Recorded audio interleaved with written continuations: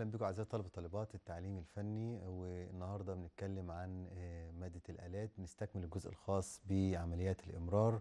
وفي الحلقات اللي فاتت اتكلمنا وعرفنا الفرق بين أنواع أجهزة الإمرار وعرفنا عندي السلبي وعندي الإيجابي. النهارده نكمل كلامنا في الطرق الإيجابية التقليدية. كان عندنا جهازين في الطرق دي كان عندي المضارب العلوية وكان عندي المضارب السفلية. النهارده هنتكلم عن المضارب العلوية الأفقية وطبعا المضارب دي بيبقى مشابهة شوية في شكلها لإيد الإنسان يعني هي بتبقى راكبة علوي في أعلى المكنة بتتحرك بالشكل ده بتبقى نازل منها سير جلدي متصل باللطاشه من أسفل. وده هنشوفه على الرسومات اللي هتكون معانا النهارده. لما بتتحرك في الاتجاه ده طبعا بتتحرك بشكل مركزي ليها مركز آه، مرتكزه عليه فبالتالي بتتحرك حركة بالشكل ده. في جزء بتفقده من قوتها فده طبعا يعتبر من ضمن عيوبها بسبب تدلي الشريط منها لغاية لما يوصل للمكان بتاعه على الدرج وده طبعا أدى إن هي بتطلع أو بتفقد قوة من اللي هي مكتسباها من ضغط الكامه فبالتالي ده أثر كمان على السرعة بتاعتها. طبعا بالنسبة لي آه، قذف المكوك بوسط المضارب الأفقية زي ما قلنا هو من أقدم الأجهزة الميكانيكية الموجودة عندي في عمليات إمرار اللحمة. الأنوال اللي بيشتغل عليها أنوال محدودة أنوال ضيقة. الأقمشة اللي بيشتغل بيها برضو المكنة دي أو بتساعد على الإنتاج فيها بتكون آه، منتجات يعني برضو محدودة مش منتجات آه، غالية. الاغلب يكون ليها المكن الأحدث. طبعا هي عملية النسيج بالشكل الميكانيكي أو بالشكل الآلي هي تطور للشغل اليدوي. يمكن أيام القدماء المصريين ما كانش فيه ماكينات آه، ميكانيكية ولا حاجة. كانوا بيعتمدوا كل الحركة بتاعتها أو كل التشغيل بتاعهم على المكن اليدوي. طوروا في المكن اليدوي ووصلوا فيه لحاجات كويسة وكانت فيه سرعات مختلفة فيه لكن برضو آه، ما وصلش للسرعة اللي شغال بيها المكن بتاعنا اللي هو وصل ده خلاص إحنا داخلين على 3000 حدفه في الدقيقة ودي سرعة عالية جدا وضخمة جدا في الإنتاج ولازم لها مكن مخصوص. لكن تعالى نرجع للماكينة اللي معانا النهارده وهي آه، المضارب العلوية الأفقية. المكنة دي ده شكلها طبعا أثناء عمليات التشغيل. زي ما إحنا ملاحظين هنا إن في مضرب علوي ده الحركة بتاعته اللي إحنا شايفينه وفي مضرب تاني في الجهة الأخرى الجهاز متماثل. اللي عليه الإمرار في الجهة اليمين بيكون هو اللي بيضرب المكوك والجهة التانية بتكون منتظرة. لو لاحظنا هنا إحنا شايفين إن المكنة عرضها بسيط ضيق مش بالشكل ال- الكبير اللي أنت ممكن إن أنت تشوفه عندك. فبالتالي المكنة عرضها بسيط ال- الإنتاج عندي بيكون قليل الأجهزة اللي بتكون منها المكنة بسيطة بس يعني زي ما تقول كده إيه مكنة بتعمل نسيج وخلاص سرعة بطيئة وإنتاج محدود. الأنوال دي بتستخدم في إيه بقى؟ بتستخدم الانوال الآلية ذات المضارب العلويه للنسج الأقمشة الخفيفة والمتوسطة وفي الأنوال المجهزة بقلبات دائرية. طبعا يبقى ليها نوع معين من الأدوات. أجزاء الجهاز بقى عندي وده الأهم عندي وتعالوا نشوف أجزاء الجهاز ونخلي بالنا من الرسمه اللي هتكون معانا دي دلوقتي. أول حاجة هنا عندي نمرة واحد الرسم. لازم نرسم عشان نقدر إن إحنا نستوعب الجزء ده من ال- المنهج بتاعي. وطبعا مادة الآلات بترتبط بحاجة مهمة جدا وهي رسم الجهاز أجزاء الجهاز حركة التشغيل. الثلاث حاجات دول بخلاف أي حاجة تانية إحنا بنتعلمها عندنا لازم أكون عارفهم كويس. فبالتالي لما باجي أرسم الرسم بتاعي قبل ما نتكلم عن الأجزاء برسم الأول الدايرة بعد كده برسم الكامه وبرتكز الأول بحط الدايرة دي الأول وأحط المسطرة وأرسم العمود بتاعي وأرسم القاعدة بتاعه آه، عمود الشمعة. وبعد كده بطلع معاها بعمل الجزء الخاص بالجلب هنا أهو وبعد كده بعمل الياي. وبعد كده بعمل الجلبة الرئيسية الكبيرة دي اللي هو الجزء اللي بيستند عليه أو اللي بيتثبت عليه العمود كمحور يعني لحركته. بعد كده بطلع للترسين اللي هما بيمسكوا المضرب الخشبي في النص. هنا ده المضرب الخشبي بتاعي. وبعد كده في الطرف بتاعه هنا نلاقي إن في حاجة ملفوفة كده أربع خمس لفات عليه وده بيكون الشريط الجلدي. الشريط الجلدي ده مثبت من طرفه هنا وملفوف كذا لفة ومتدلي من المضرب وواصل لغاية الايه اللطاشه واللطاشه ليها مجرى بتتحرك عليها داخل ال- الدرج وطبعا لازم يكون المكوك مرتكز على اللطاشه في انتظار الحدفه بتاعته. تعالوا بقى نتكلم على الأجزاء بالتفصيل. أول حاجة الدايره الداخلية دي هي العمود السفلي. بعد كده الدايره الخارجية دي اللي هي ليها بوز هي دي كامة القصف بعد كده بيقابلني هنا حاجة مدورة دي اسمها البكرة المخروطية وفي بعض الأحيان بنسميها التومة في العملي. بعد كده عندي هنا عمود الشمعة ومن أعلى عمود الشمعة في جلبة الياي والياي. وهنتكلم عن الياي دوت في حركة التشغيل هنعرف وظيفته إيه في المكنة دي أو في الجهاز ده. بعد كده بنطلع لفوق عندي ترسين اللي هم مسننين وماسكين مضرب الخشبي بإحكام. من أعلى وأسفل عشان ما يتحركش مثبتينه. وبعد كده المضرب الخشبي والسير الجلدي أو زراعه جلدي 13 زي ما إحنا بنسميه وبعد كده اللطاش وطبعا بعد كده عندي الدف والجوزاء وبقية الأجزاء الخاصة بالدف. طيب بالنسبة بقى لي هنا ده كان شكل الجهاز. طب وهو الجهاز ده كده بالشكل ده أنا أقدر أطلع منه حركة تشغيل؟ آه لو أنا فهمت الشكل بالظبط هقدر أطلع حركة التشغيل من الجهاز. طب تعالوا كده نتكلم عن حاجة مهمة جدا وهي المكنة. المكنة أثناء التشغيل بالنوع ده هي طبعا ده نوع تاني من الماكينات وبيستخدم برضو المضارب العلوية. هنا طبعا زي ما إحنا شايفين الشريط الأبيض اللي بيتحرك قدامي ده هو ده الشريط الجلدي المسؤول عن التثبيت مع اللطاشة. هنا دي اللطاشة. الشكل اللي قدامي ده كان اللطاشة وهي بتخرج أو بتضرب المكوك. هنا المكوك مستقر تبدا اللطاشة تاخد القوة تبدأ تضرب المكوك بيطير المكوك في وسط النفس بالشكل ده. كده إحنا شفنا الحركة بتاعته وإحنا شايفين هنا إن العمود بتاعي المتصل بالذراع موجود في مكان داخل إيه؟ المكنة. بس يعني منفصل حركته بتنفصل عن حركة المكنة وبياخد بس السرعة بتاعته أو القوة بتاعته من الكامه وبيكمل شغله. مع المكوك. طيب هنا طبعا شايفين المكنة يعني سرعتها محدودة. أنا في السرعة العادية أصلا أنا شايف الحركة وقادر أميز حركة الجهاز. في السرعة البطيئة بسبب حركته البطيئة دي أنا ما بقتش عارف أشوف الحركة بتاعتي. فبالتالي لو نلاحظ حتى في بعض الأحيان إحنا كنا في المدرسة عندنا كان ممكن والمكنة شغالة طبعا هنا الجهة الثانية فيها نفس الجهاز ونفس الشكل. المكنة وهي شغالة أنا أقدر أمسك الدف وأحرك بيه. هنا طبعا ده شكل المكوك اللي بيشتغل على النوع ده من الماكينات. وهنا في فرق بقى ما بين المكوك اللي هيشتغل على النوع ده واللي هيشتغل على النوع اللي بعديه. أنا عندي المكوك لازم يكون مفرغ من النص عشان أحط فيه ماسورة اللحم. بس عندي مكوك بمردن ومكوك بدون مردن. في مكوك بمردن والمردن ده عبارة عن إصبع معدني بعشق فيه البقرة أو الماسورة اللحمة بتاعتي وأبدأ إن أنا أقفله داخل المكوك بتاعي وتتم عملية التشغيل. ده نمرة واحد اللي هو ممكن يشتغل على النوع ده من المكن. طيب النوع التاني النوع اللي بيستخدم الماسك.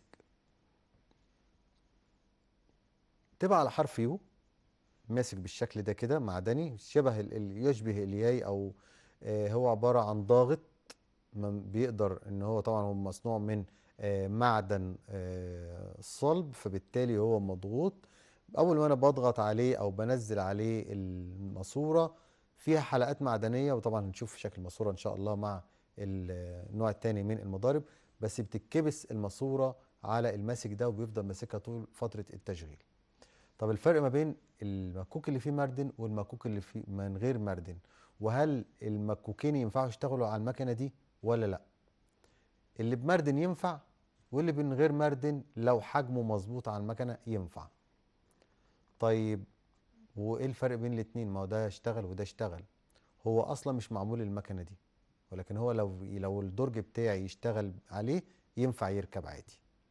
أمال هو معمول إيه؟ معمول لمكنة فيها جهاز اسمه بيتري بيقوم بتغيير الماسورة أثناء عملية تشغيل المكنة. طول ما المكنة شغالة الماسورة خلصت بيضرب على الماسورة المليانة وينزلها مكان الماسورة الفاضية وبيرمي الفاضية لاسفل وتفضل المكنة برضو شغالة. المكنة ما بتقفش. يبقى كل من خمس لسبع دقائق الجهاز ده بيروح منزل ماسورة مكان الايه الماسورة اللي فضيت الكلام ده هيتم إزاي؟ نأجله مع لما نوصل لشرح النوع ده من الأجهزة. لكن تعالى بقى على جزء مهم جدا. أثناء عمليات التشغيل المكوك اللي فيه مردن لو راح على النوع ده من الأجهزة وحب يبدل الماسورة هضرب على الماسورة. أنا كده بضرب على الماسورة. في عمود معدن.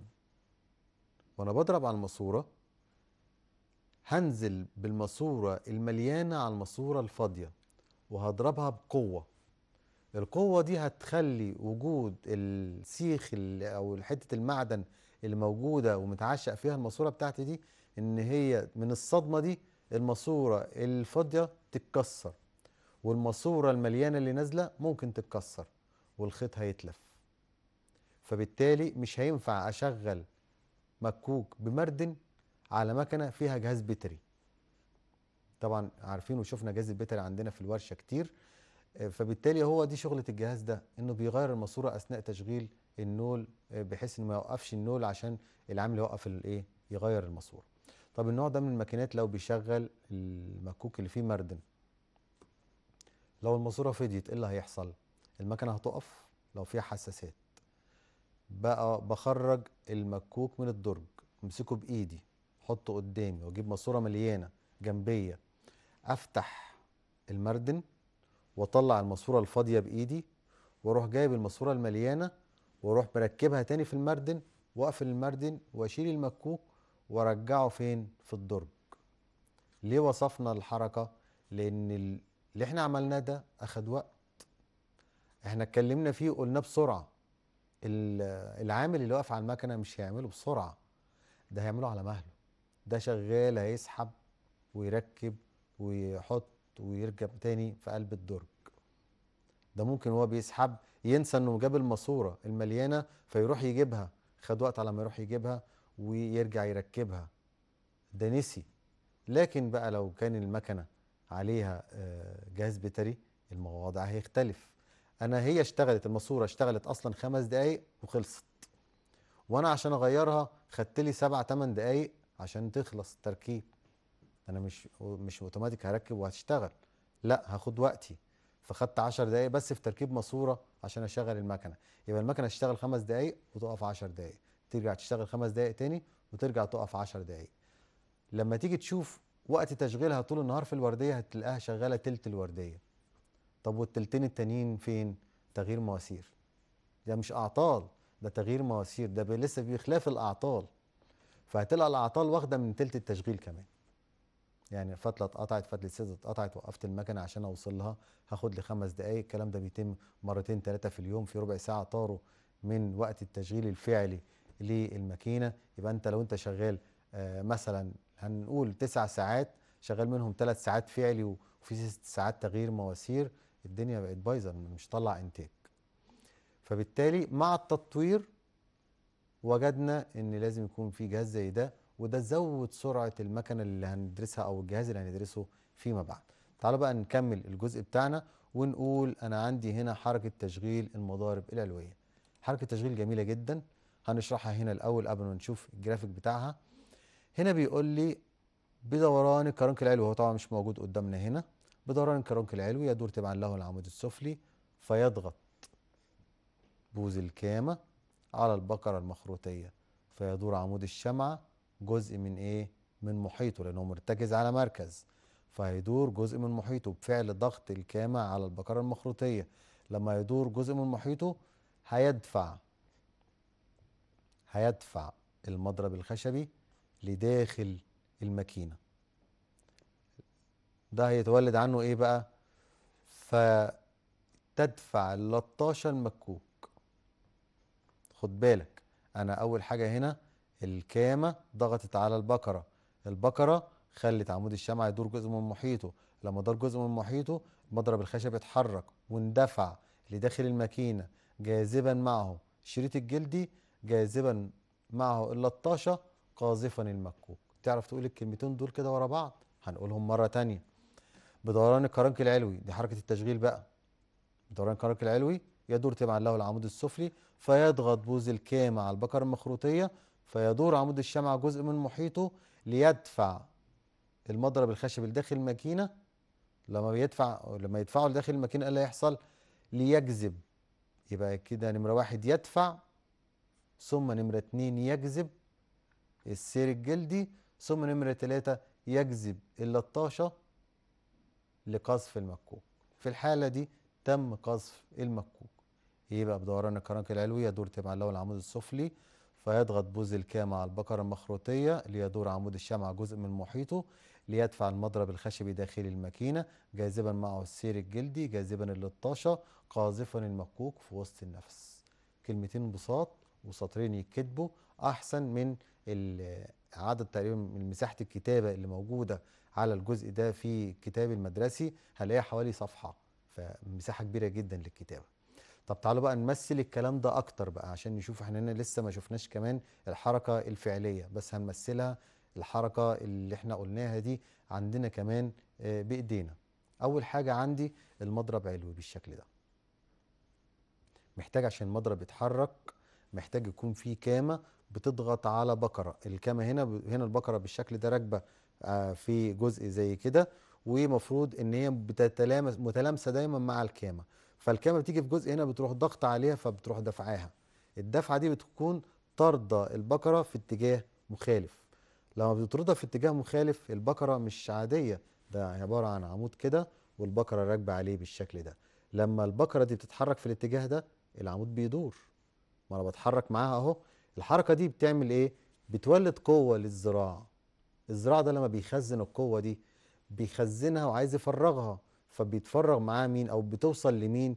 بتوصل للذراع الأفقي. فالذراع الأفقي يروح داخل آه لداخل الماكينة متعلق فيه السير الجلدي فبيروح طبعا هو متدلي منه ومتعلق بالجزء الخاص باللطاشة. فوهو داخل كده بيروح ساحب معاه السير وساحب معاه اللطاشة. طب إحنا بنقول الجهاز ده إحنا مش عاجبنا ليه؟ هو إيه السبب؟ المضرب في سير جلدي متدلي. المضرب واخد قوة. القوة دي مفروض يدفع بيها اللطاشة. القوة دي على ما توصل السير الجلدي بما إنه هو مرن فبتنخفض القوة. لو هو داخل بسرعة مثلا 100 كيلو في الساعة فعلى ما توصل السرعة للطاشة توصل لها 50 من المية. فبالتالي بفقد كمية من القوة بتاعتي بسبب السير الجلدي.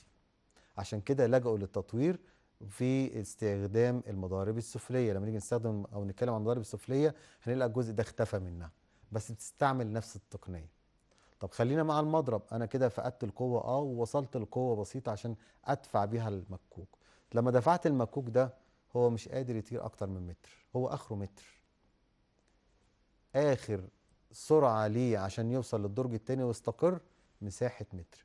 فبالتالي هتلقى إن هو بيشتغل على الماكينات اللي بتشتغل أو بتعمل أقمشة كنزة أو الماكينات الكنزة الصغيرة.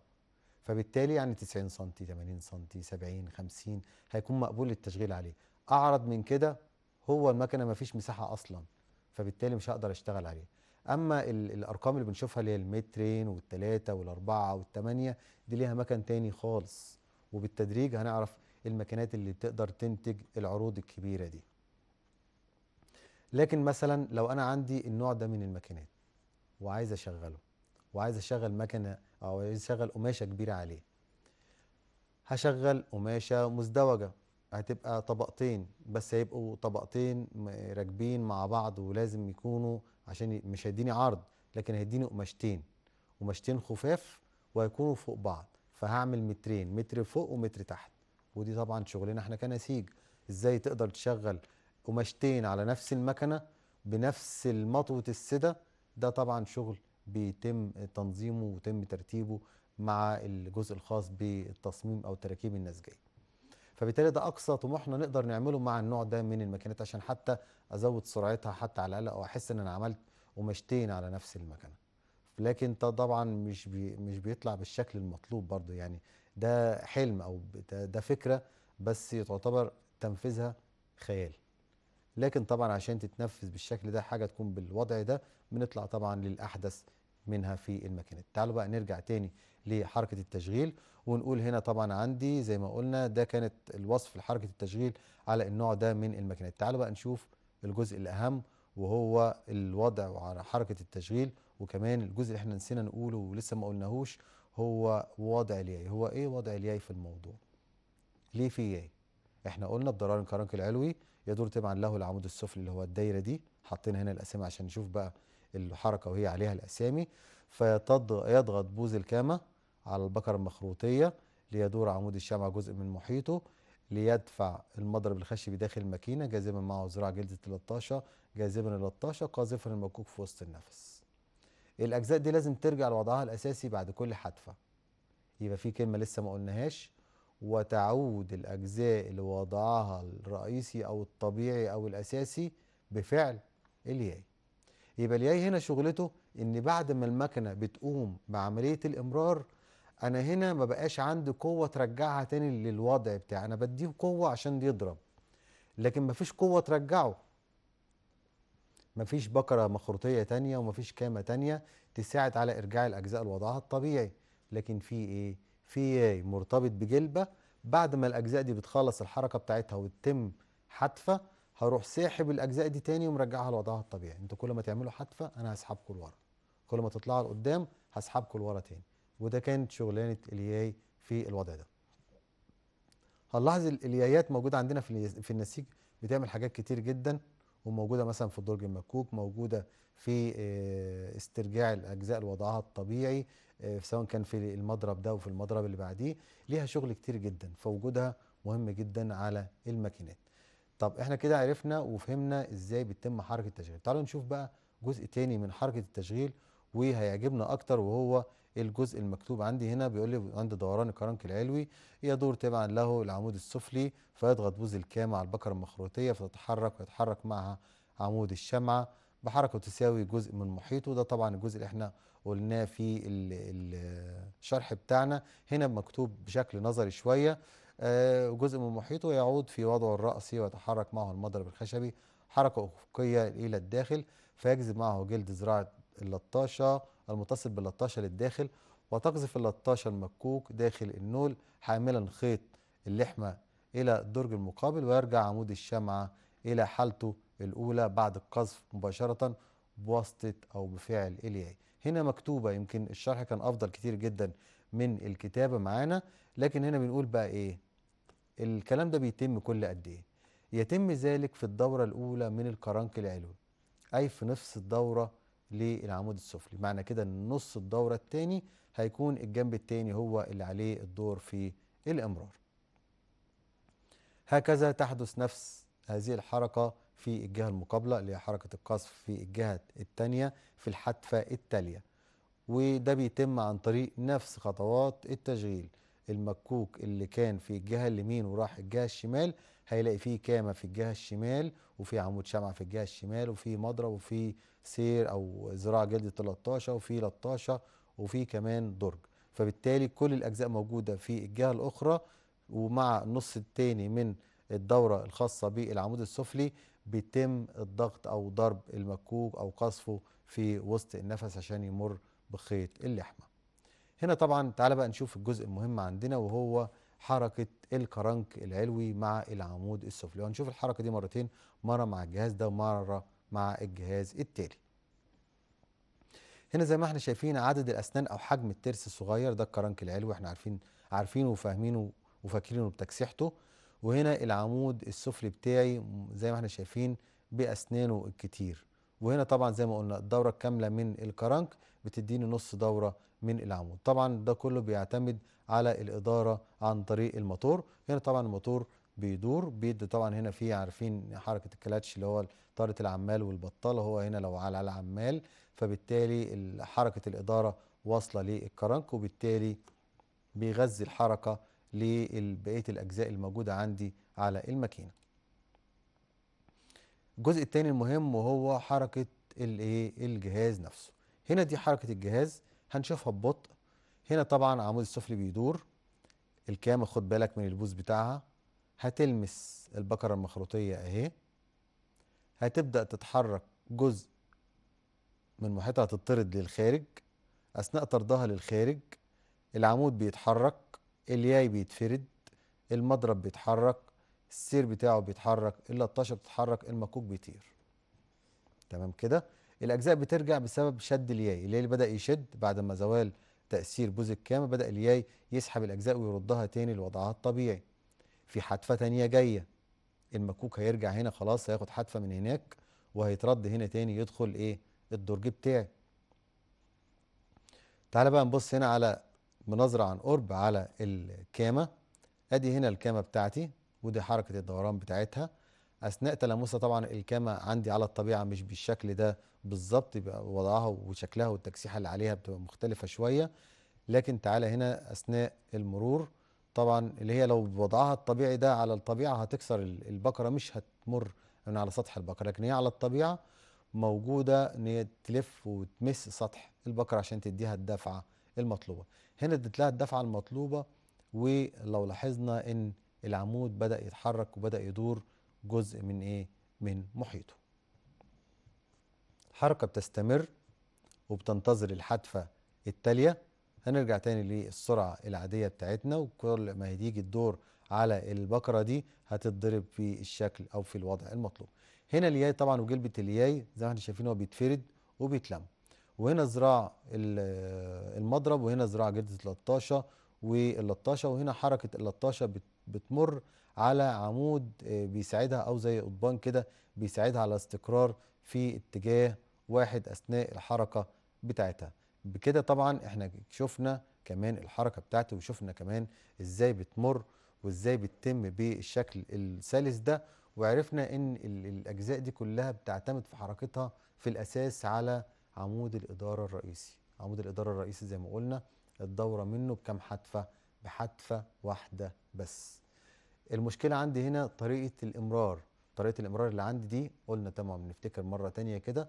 طريقة الإمرار دي إيجابية ولا سلبية؟ نمرة واحد دي طريقة إيجابية. طب هي تقليدية ولا غير تقليدية؟ نمرة اتنين دي تقليدية. طب قديمة ولا حديثة؟ تعتبر من الطرق القديمة. يبقى عملية الإمرار باستخدام المضارب العلوية هي طريقة من الطرق الإيجابية. التقليدية القديمة. يبقى هي إيجابية وتقليدية وقديمة. بتعتمد في النوع ده من الماكينات على تماثل الماكينة. لو أنت خدت كده خط في نص الماكينة هتلاقي الأجهزة بتاعة الإمرار موجودة في اليمين زي الشمال. تماثل في الجهازين دول بس مش في بقية الأجهزة. تعال بقى على حركة الإمرار نفسها. تبقى الحركة على حسب الدور الخاص بضغط الكامة. أنهي كامه اللي عليها الدور؟ هي الكامة اليمين ولا الكامة الشمال؟ مين اللي عليهم الدور؟ طب في بداية تشغيل الماكينة وأنا بظبط المكنه وبعمل لها عملية التقديم وبجهزها للتشغيل مين اللي هظبطها هي اللي تضرب الأول؟ يعني أنا ممكن في البداية أخلي الجنب اليمين ولا أخلي الجنب الشمال؟ مين فيهم؟ حسب ما هتظبط الكامات بتاعتك هي هتبدأ تشغيل. ومش مهم هي هتقف عند أنهي درج المهم إن المكوك لما يدخل الدرج يستقر ويثبت. ده المهم عندي. طيب في آه، حوادث بتحصل من المكنة دي أثناء عمليه التشغيل؟ آه في حوادث. بما إن هي مكنة قديمة وساعات الغراب اللي بيبقى في طرف المكوك من الخلف ده بيبقى من كتر التشغيل بيتلف أو المكوك نفسه بيكون فيه مشكلة أو أي اعوجاج حصل إن ده مصنوع من خشب مضغوط فبالتالي وارد إن تحصل فيه اي تلفيات أثناء عملية الايه الإمرار. أنت كل فترة أو كل مسافة قليلة بتضرب على المكوك بقوة عالية. القوة العالية دي بتحصل ما بين المكوك وما بين اللطاشة احتكاك واصطدام. هو بياخد ضربة من هنا من الجنب اليمين بيروح الشمال بيصطدم وبيتصد فين؟ في اللطاشة. ده هو ممكن لو جه بسرعة أعلى من اللازم يكسر اللطاشة بالغراب المعدن بتاعه. اللطاشة بتبقى مش مصنوعة من معدن ده مصنوعة من لدائن عشان تتحمل قوة الإجهادات اللي تكون على النول. لو اتصنعت من معدن الصوت هيعلى. المكوك بيكون عرضة للتكسير أكتر من الوضع الحالي. ده أنا كل اللي حاطط دلوقتي أو كل اللي عامله على المكوك إن أنا مركب له غراب معدن وهو مصنوع من الخشب. غراب المعدن ده عامله تجويف في اللطاشة بحيث يرتكز المكوك بعد نهاية الايه الحتفه بتاعته ويستقر فين؟ يستقر عند اللطاشة. بتاعتي. يبقى دي كده كانت الايه؟ كانت الحركة بتاعته. طب الكلام ده بيتم إزاي؟ بيتم بالحركة اللي إحنا قلنا عليها دي بدوران الكرنك العلوي يدور تبعا له العمود السفلي فيضغط بوز الكامة على البكره المخروطية فيدور عمود الشمعه جزء من محيطه ليدفع المضرب داخل الماكينة. أنا بنسميها داخل الماكينة لكن هو الماكينه مش مقفولة زي الدولاب وهو بيدخل جواها لأ ده آه، مجازا إن هو بيدخل في المنطقة اللي فيها القماش فبنقول عليها لداخل الماكينة. آه، لما بيندفع لداخل الماكينة بيجذب معاه الشريط الجلدي أو ذراع جلدة اللطاشة وهو طبعا مرتبط كمان باللطاشة. اللطاشة عبارة عن برضو نوع من أنواع اللدائن زي ما إحنا قلنا ومفرغ لها زي مجرى آه، محطوط لها راكبة على مجرى أو زي عمود أو سيخ من المعدن. بتتحرك عليه أو بيساعدها على استقرار في اتجاه واحد أو في اتجاه أفق أثناء الحركة بتاعتها. ليه بعمل كده؟ لأن أصلا السير الجلدي أو ذراع جلدة اللطاشة زي ما قلنا هو مرن. مرن بمعنى إيه؟ بمعنى إن وأنا بتحرك بالشكل ده لو أنا ثابت أو الكلام ده مفيش الذراع اللي هو بيساعدني على توجيه اللطاشة هبص ألاقي إن الخط الطيران نفسه بيعمل لي مشكلة أثناء عملية الإيه؟ عملية الإمرار.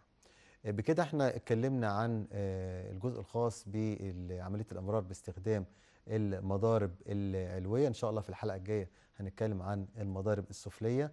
وطبعا آه، المذاكرة محتاجين مذاكرة أكتر ورسومات أكتر عشان نقدر نكون مستوعبين للحركات والأجزاء الخاصة بالجهاز. وشكرا على خير في الحلقات الجاية وإلى اللقاء.